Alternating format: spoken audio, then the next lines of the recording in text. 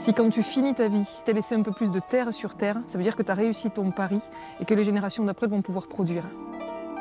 On prend juste en compte la quantité produite, on se fout euh, de la qualité et puis on ne prend pas en compte non plus euh, ben, les pollutions et toutes les ressources qu'on va prélever et qui ne sont pas renouvelables. On dit que le sol fertile est non renouvelable comme le pétrole. Je m'appelle Pierre Girard. Je suis journaliste scientifique et je vis entre Paris et Berlin. En parcourant l'Europe, j'ai fait ce constat. Partout, la façon dont nous produisons nos aliments a un impact déterminant sur l'environnement. Un quart des émissions de gaz à effet de serre provient de l'agriculture. Et chaque année, à l'échelle de la planète, nous perdons 24 milliards de tonnes de terres arables. Pourtant, la solution à bon nombre de problèmes est bien là, sous nos pieds. La terre. C'est elle qui nous donne de quoi manger, nous habiller et bien plus encore. En un mot, la terre nous fait vivre. Si nous ne prenons pas soin de nos sols, il y aura toujours plus de sécheresse et d'inondations. Il est grand temps de leur accorder toute l'attention qu'ils méritent. Ce n'est pas pour rien que notre planète s'appelle la Terre. Je suis allé à la rencontre d'agriculteurs et d'agricultrices engagés qui ont fait du sauvetage des sols leur priorité et qui déploient des méthodes bien concrètes pour s'attaquer aux problèmes environnementaux par la racine.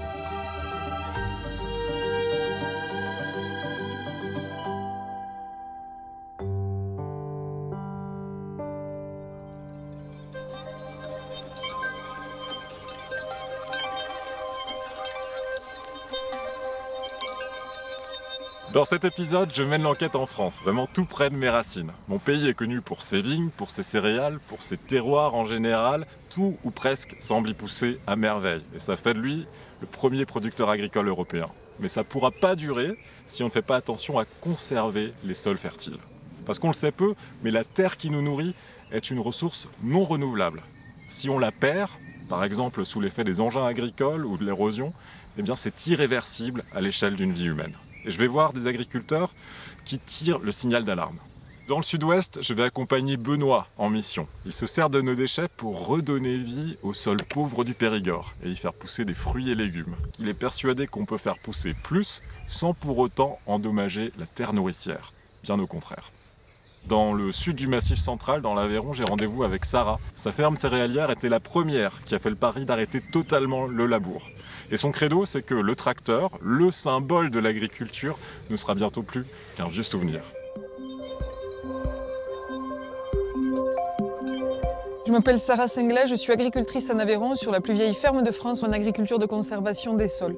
C'est mon père en 1980 qui avait arrêté le labour. Ça fait 42 ans que ça fonctionne et ça fait partie des défis que notre génération doit relever parce que le challenge pour nous, jeunes agriculteurs, ça va être à la fois de préserver et restaurer la fertilité des sols tout en continuant de produire du pain et des pâtes.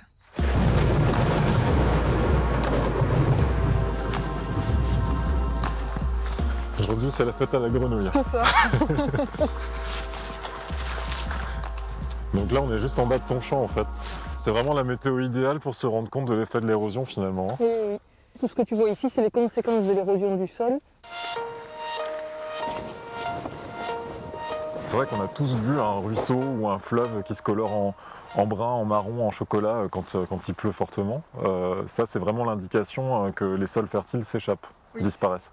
Et quand tu vois cette eau marron, donc elle emporte avec elle tout un tas de particules de sol, un millimètre qui s'en va, c'est 10 mètres cubes de sol qui partent dans les rivières, dans les fleuves, dans les océans. Sur 10 un mètres hectare. cubes Sur- un hectare. Ouais. Oui, c'est vrai que les pays de l'Union européenne perdent chaque année 950 millions de tonnes de sol fertile. Ça représente 1 cm sur deux fois la superficie de la Belgique. C'est absolument énorme. Moi, chez moi, je connais le compost, mais pour former du sol fertile, c'est un peu plus compliqué que ça. Le sol, en fait, c'est une interaction entre de la géologie et de la biologie. Donc la géologie, c'est ce que tu vas voir là, c'est ce qu'on appelle de la roche-mère. Et la biologie, ça va être des végétaux, ça va être des, des acides, par exemple, qui vont dissoudre cette roche-mère et qui progressivement va faire de la matière organique. Et la matière organique, en gros, quelque part, c'est l'humus, c'est ce qui va permettre de rendre un sol fertile. Progressivement, le sol va se former, mais ça va prendre des milliers d'années. Et on détruit beaucoup plus vite les sols que ce que l'on va mettre de temps pour les former. C'est pour ça qu'on dit que le sol fertile est non renouvelable, comme le pétrole. Il est non renouvelable et on dit surtout qu'on va manquer de sol avant de manquer de pétrole. Je comprends que tu veux conserver ton sol fertile, mais quand il pleut comme aujourd'hui, tu peux pas arrêter la pluie quand même, on est d'accord On ne peut pas arrêter la pluie, mais on peut arrêter les conséquences négatives de la pluie. Parce que la pluie, elle a toujours existé depuis la nuit des temps.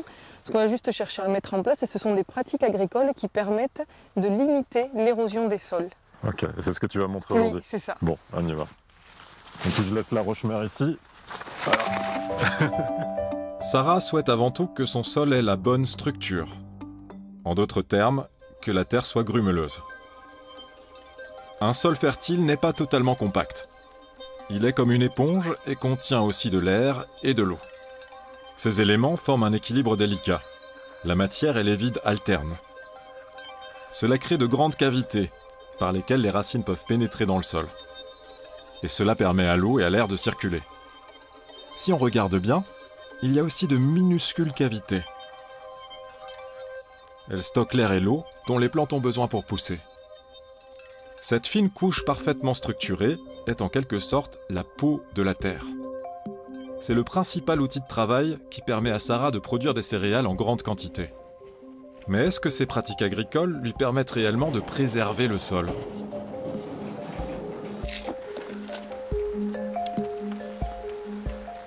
Donc ça, c'est des échantillons témoins en conventionnel, et ça, c'est des échantillons de ton sol. On ne dirait pas qu'il y a une différence entre les deux, surtout. C'est la même texture, a priori, à l'œil nu, comme ça. A priori, tout est pareil. Ouais. À part la couleur qui est très très légèrement différente. Ouais. Et on va faire ce qu'on appelle le slake test, c'est C'est ça, ça. Donc toi, tu prends celui-là. Tu prends le tien, Oui, celui que tu connais. On a la même taille la même taille. Tout est à peu près pareil. hein. Ouais. Donc on va les mettre dans... Et on va attendre, on va voir ce qui se passe. Donc là, on simule une pluie. Et on simule une pluie, ouais. Pour le moment, il n'y a pas une grande différence. Mais bon, c'est Non, le mais début. non, Ah, regarde, le sol commence à partir. c'est incroyable. Le- Chez toi, il n'y a encore rien qui bouge pour l'instant. Je confirme, on n'a rien touché. Moi, je trouve que c'est flagrant. Il perd vraiment une quantité folle, alors que de ton côté, Il n'y a rien qui rien qui se passe. Ouais. J'aimerais bien juste le secouer légèrement Oui, pour voir s'il y a un effet différent. Oh là là Là, on a perdu 1 cm et demi, 2 cm, et là, chez toi, on a perdu, euh, je sais pas, moi, 2 mm finalement. Oui. Donc là, ça veut dire qu'il y a toute la terre qui s'en va, et tout ça, ça va partir dans les ruisseaux, dans la mer, et ça veut dire que l'agriculteur perd la fertilité de son sol. Derrière toi, là-bas, je vois une charrue, je pense, euh, Oui. qui a pas l'air d'avoir servi depuis un petit moment. Oui, c'est ça. Mais ici, c'était un outil qui était utilisé il y a très longtemps. Et ça, c'était à tes arrière-grands-parents ou Oui, c'est- c'est ça, oui. Ouais. Mes arrière-arrière-grands-parents. Mais il y a quand même une utilité au labour, d'un point de vue agronomique, non? L'intérêt qu'on voyait jusqu'à présent, c'était pour enlever les mauvaises herbes. Parce que tu vas retourner la terre. Donc, c'est-à-dire que toutes les plantes qui sont en surface, tu vas les mettre en profondeur. Et l'autre chose aussi, c'est qu'on faisait de la minéralisation. Donc, en fait, tu allais amener un peu de fertilité aux cultures que tu étais en train de faire pousser. C'est bien ça, quand même. Au départ, c'est bien. Tant qu'il y a de la fertilité, il n'y a pas de problème. Mais aujourd'hui, on a des sols qui ont perdu toute leur fertilité parce qu'on a intensifié le travail du sol. On est en train d'expliquer qu'on va travailler moins pour gagner plus. Alors, c'est pas un message politique et c'est la réalité, ça marche. On, travaille vraiment moins pour gagner plus parce qu'on on- on travaille beaucoup plus avec la nature. Que se passe-t-il quand on laboure? La lame de la charrue s'enfonce de 10 à 40 cm dans le sol et détruit sa structure. Seuls 5 à 10% des surfaces cultivées en Europe ne sont plus du tout labourées. Pour certains maraîchers aussi, il est hors de question de travailler le sol.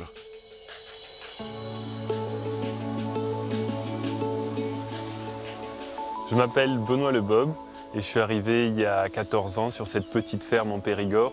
Et euh, mon objectif, c'était d'essayer de faire du maraîchage sur ces terres qui étaient euh, plutôt pauvres.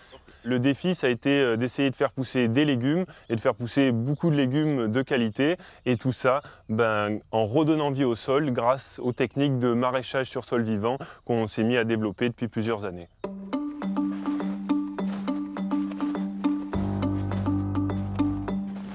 Alors, à quoi ça ressemble un sol vivant? On peut creuser?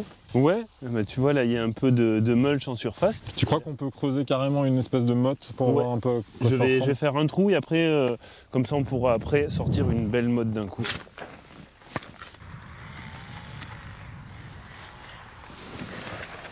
Alors, qui habite dans ton sol vivant? J'ouvre l'hôtel. Waouh Et là, on voit toutes les galeries. Il y en a partout, c'est génial. C'est quoi ta définition de la terre fertile? Pour moi, une terre fertile, c'est une terre où les, les plantes, elles poussent toutes seules. Quoi. Mais du coup, on- souvent, c'est des terres noires, c'est des terres riches en matière organique. Et dans ces terres-là, du coup, en tous les cas, sous nos latitudes, il y a un rôle qui est joué par le ver de terre pour créer ces sols. Quoi. Il y a un rôle très important.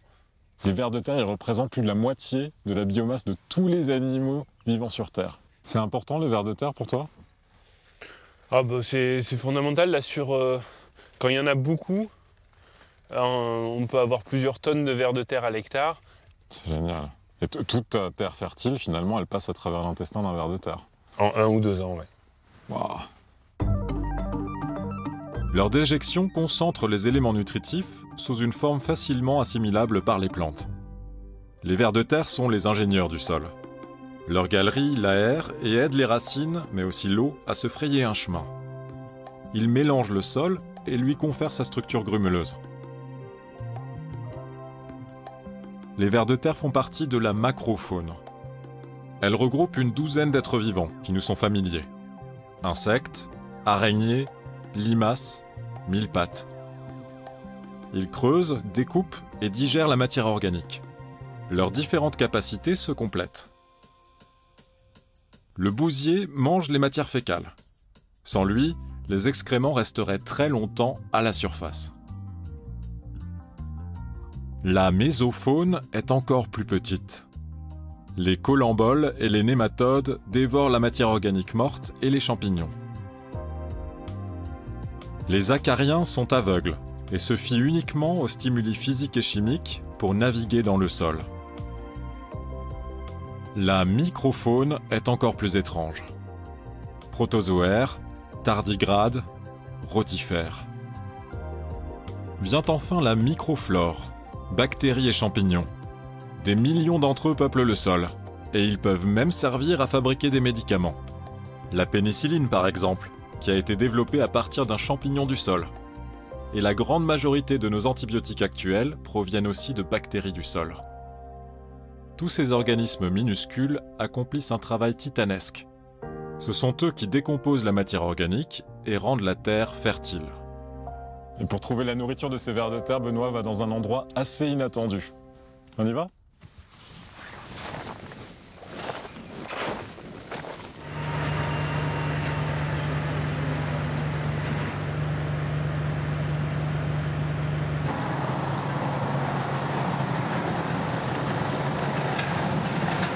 Comment ça se passe exactement pour récupérer ces déchets organiques? C'est un partenariat avec, euh, avec la déchetterie, c'est ou, euh? Ouais, parce qu'en fait, eux, ils avaient un problème, c'est qu'est-ce qu'ils font de ce déchet? Et en fait, euh, bah, pour nous, c'est une ressource, quoi. C'est juste trop important que ces matières, elles reviennent au sol pour, euh, bah, pour recréer de la fertilité, quoi, et éviter d'avoir des, des sols qui s'appauvrissent, quoi. Les déchets verts sont constitués de résidus de jardinage ou de branchage, provenant d'élagages par exemple. Euh, donc on va, on va prendre la camionnette rouge et Oui. vous nous suivez? Ouais. Ouais. Roulez tranquille parce que moi je suis chargé à l'arrière. hein. Ouais. Ok. Ça marche. J'ai un peu l'impression que c'est un peu comme si on trans- transportait un trésor. Oui, on est allé chercher notre trésor vert, notre or Et voilà. qui fertilise nos champs.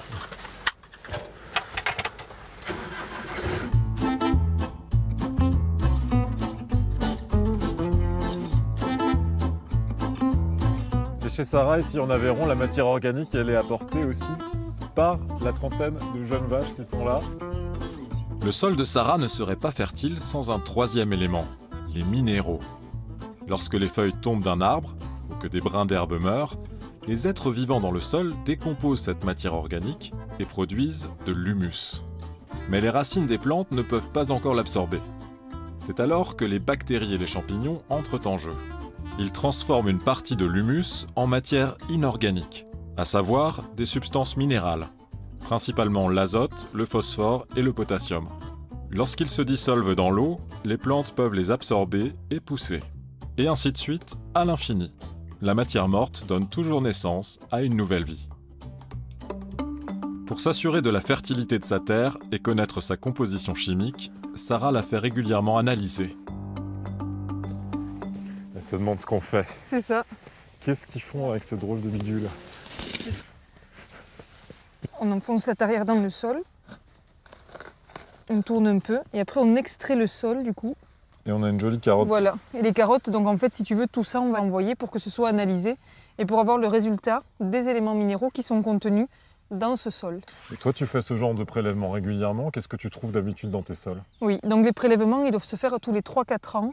Parce qu'on dit que la transition chez un sol, elle se fait tous les 3-4 ans pour voir les évolutions. Donc là-dedans, on va constater la teneur en calcium, en magnésium, en oligo-éléments.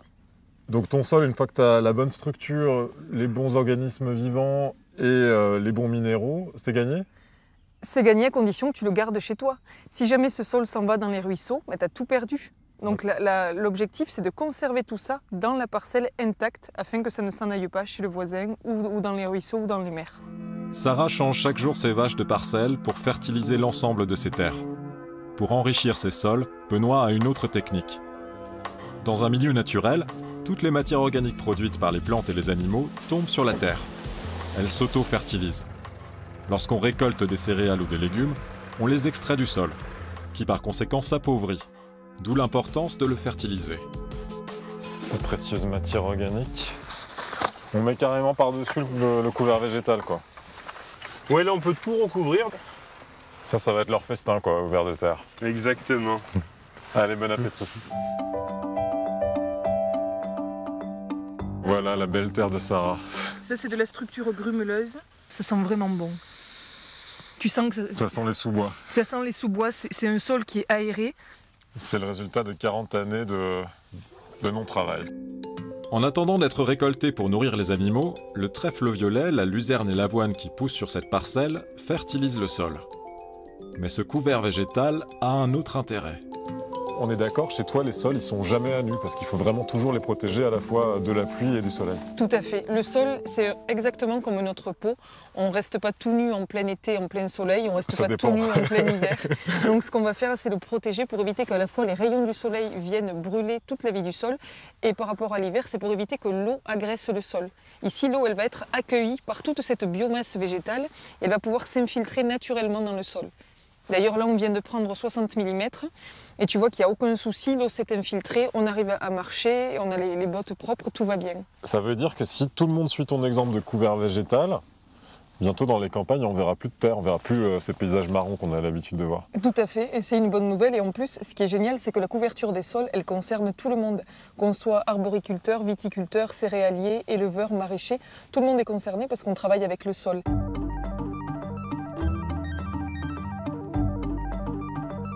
Ouais, c'est pareil chez Benoît, ici dans le Périgord, les sols sont couverts en permanence. Et ça, c'est ton tracteur. Spectaculaire. Avec son mini-carte, Benoît broie d'abord le couvert pour préparer la parcelle avant les plantations. La seconde étape est un petit peu plus sportive.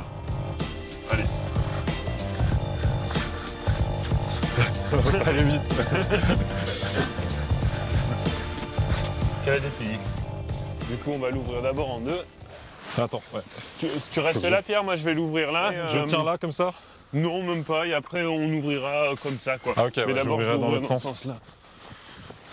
Il y a un côté pêcheur aussi un peu qui déplie son filet quand je te regarde là. Ouais, j'espère que la pêche sera bonne. ouais, j'espère aussi. Là aussi, la passe est toujours des verres. hein. Ok. Mais dis-moi, pourquoi tu choisis de mettre du plastique plutôt que, je sais pas, du paillage comme en permaculture de temps en temps? Là, l'intérêt du plastique, c'est que j'ai des trous de plantation. Du coup, j'ai plus qu'à mettre mes plantes ici. Et en fait, il n'y a aucune autre herbe qui va pousser. Du coup, en termes de désherbage, je vais avoir aucun désherbage. Et en plus, le, le plastique, il va me permettre de garder l'eau que j'ai dans mon sol, parce que là, on est sur une parcelle sans irrigation. Donc en fait, là, si je gagne du temps, j'ai pas besoin de mettre de l'irrigation et je produis deux fois plus de patates douces sur ce champ avec du plastique que sans plastique, euh, c'est pas mal. Et t'en as combien des bâches plastiques sur ton exploitation? On commence à en avoir pas mal. Là, on doit avoir à peu près un hectare et demi de bâches. Ah ouais, c'est énorme. Mais bon, après, si on compare à la surface de la ferme, ça fait à peu près un dixième, puisqu'il y a à peu près 15 hectares. Ça fait quand même un paquet de plastique. Ouais, c'est surtout un paquet de manutention. On est pas mal là, non?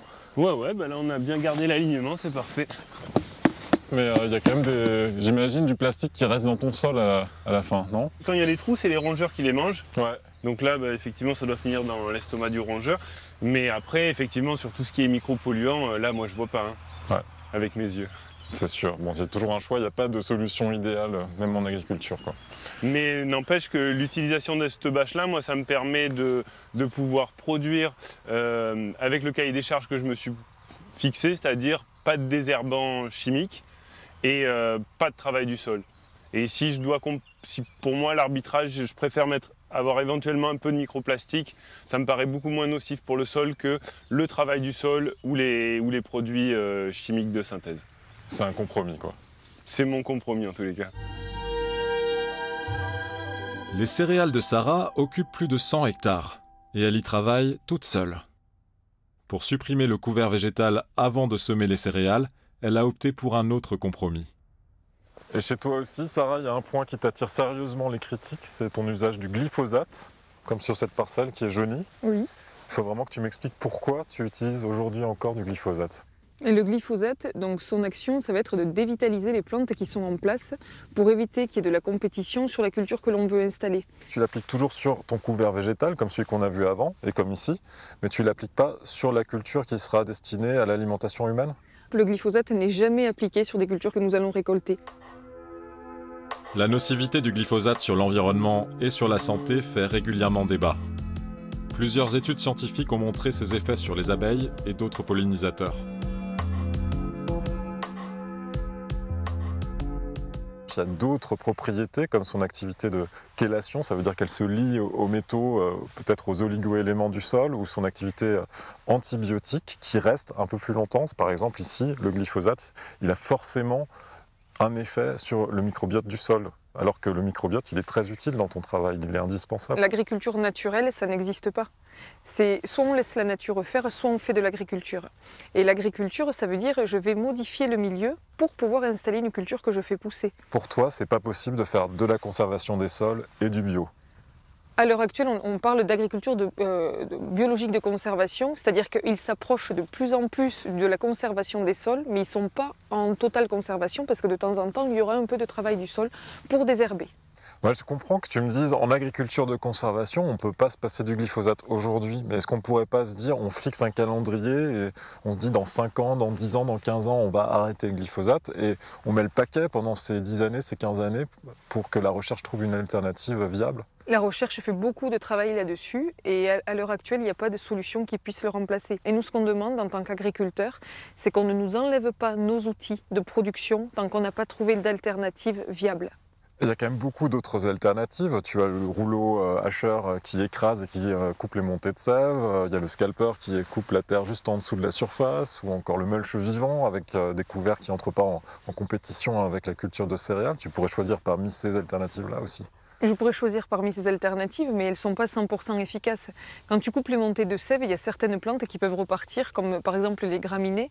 Sur le scalper, c'est pareil, c'est-à-dire que toutes les plantes ne vont pas pouvoir être désherbées par le scalpage. Tu pourrais envisager de désherber à la main sur tes parcelles de céréales? Si je désherbe à la main, je ne pourrais pas cultiver tout ce que je fais là. Un désherbage à la main, tu vas, tu vas désherber, allez quoi, 30 mètres carrés grand maximum. Mais tu ne vas pas désherber 100 hectares à la main. Selon les scientifiques, il existe d'autres techniques que le non-labour strict pour conserver le sol, dont certaines avec un désherbage sans produit de synthèse. Mais il semble unanime pour dire que les techniques qui concilient non-labour et zéro chimie ne peuvent pas garantir d'aussi grands rendements sur de grandes exploitations. De nombreux choix sont possibles, et ils sont avant tout une histoire d'arbitrage et de conviction. Et qu'est-ce que tu produis exactement sur ta ferme? Donc là, on est sur du sarrasin. Après, je fais aussi du blé qui fait de la farine pour faire du pain. Est-ce qu'il y a moyen de savoir l'effet de ton sol vivant sur ton rendement? Ici, c'est une parcelle qui avait fait 1 tonne 8 à l'hectare, alors qu'en moyenne, on est plutôt sur 1 tonne à l'hectare, c'est-à-dire que j'ai pratiquement fait deux fois plus. Et euh, ta position en tant que céréalière par rapport à, à la crise du blé, là, par rapport à, à la guerre en Ukraine, c'est Oui. quoi- Qu'est-ce que ça change pour toi, pour tes pratiques ici? Mais ce que ça montre, c'est surtout que ça rappelle que le premier métier d'agriculteur, c'est le métier de producteur de nourriture. Et du coup, avec cette euh, guerre en Ukraine, on se rend compte qu'il faut qu'on réarme tous les pays d'un point de vue de la sécurité alimentaire. La, la- la production reprend toute sa place. Benoît observe depuis 14 ans l'effet de ces sols vivants sur la qualité des légumes qu'il produit. Oh la vache Comment ça se fait qu'elles sont aussi grosses, ces patates douces? Si ma plante arrive à bien s'ancrer dans le sol, elle va pouvoir après euh, créer beaucoup de feuilles. Si elle fait beaucoup de feuilles, elle va faire beaucoup de photosynthèse. Si elle fait beaucoup de photosynthèse, elle va du coup synthétiser beaucoup de sucre. Et du coup, après, elle va envoyer tous ces sucres qu'elle a synthétisés dans son système racinaire et du coup dans les tubercules. Du coup, le, taux de, sucre, on peut le vérifier avec le réfractomètre Brix, qui est un outil très simple qui utilise les vignerons. L'échelle de Brix, c'est celle qui permet de mesurer la teneur en sucre d'un produit. Plus le taux est élevé, plus euh, il y a du sucre dans ce produit. Vais essayer de presser. L'échantillon. Et donc là, le but, c'est d'y faire tomber une. Une goutte sur le- le- Ouais, la partie bleue. Exactement. Voilà. Qu'est-ce que tu vois? C'est pas un kaléidoscope, c'est bien un réfractomètre. Et ben là, on est à peu près entre ouais, 10, 10 11. Qu'est-ce qu'on en conclut alors? On a plusieurs fois fait des, des mesures de, de patates douces qu'on a achetées au supermarché et les, et les taux de briques, ils sont entre 6 et 8 max. Quoi. Ok, donc quasiment moitié moins de Brix. Moi je dirais il y a aussi un moyen hyper simple de vérifier si c'est sucré. Je vais le manger? Ah ouais, c'est génial. C'est trop bon. Avec une vinaigrette, ça on peut le manger vachement bien, j'ai jamais jamais essayé. Ça, fait, ça remplace le, le fromage hollandais, là. Le fromage hollandais, ouais, au niveau de la couleur surtout. Et tu pourrais cultiver des céréales comme Sarah euh, avec ton système? Oui, mais ça aurait de sens que pour me nourrir moi. En tous les cas, si je devais le vendre au prix euh, auquel coûtent les céréales, ça n'a aucun sens. Aucun. Parce que tu ferais plus de bénéfices? Parce que je serais à perte totale, quoi. Je le laisse à plat Comme elle ne laboure plus, Sarah ne sort son tracteur qu'à de rares occasions. C'est bon comme ça? Je l'accompagne aujourd'hui pour semer du sarrasin.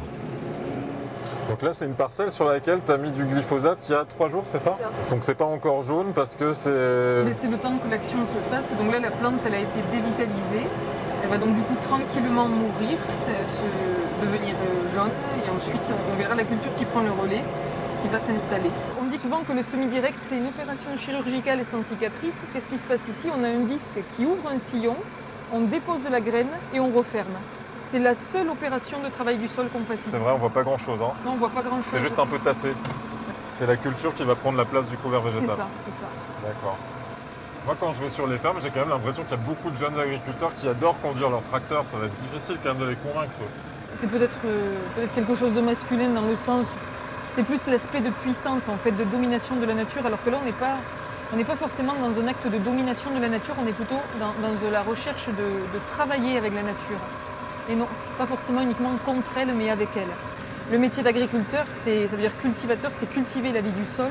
Je passe beaucoup plus de temps à réfléchir à quelle plante je vais installer, comment je vais caler ma rotation, comment nourrir les animaux, plutôt que de regarder les boutons qu'il y a dans le tracteur. Si dans un monde idéal, on changeait de modèle d'agriculture, tu pourrais pas justement euh, envis- envisager une manière complètement différente où tu sois pas contrainte par, par des résultats justement? Moi, je suis d'accord que le consommateur paye plus son produit, mais après, il faut que ce soit la société en entier qui change. Et je ne suis pas sûre qu'à l'heure actuelle, toute la société ait envie de changer. Il y a une phrase que j'aime beaucoup. Il faut que lorsqu'on a fini notre carrière, il faut qu'on ait laissé un peu plus de terre sur terre. Et ça, je trouve ça magnifique parce que ça veut dire que as, derrière toi, tu as amélioré la fertilité des sols et tu sais que tu as laissé quelque chose qui est durable, qui est pour les générations d'après. De la même manière qu'il prend soin des jeunes plantes qui poussent dans sa pépinière, Benoît prend soin de la terre nourricière. Selon lui, le rôle de l'agriculteur va bien au-delà de celui du producteur de nourriture.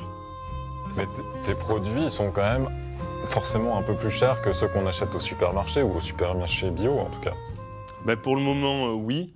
Et euh, parce qu'il y a beaucoup plus de, de travail et de soins en fait sur nos produits.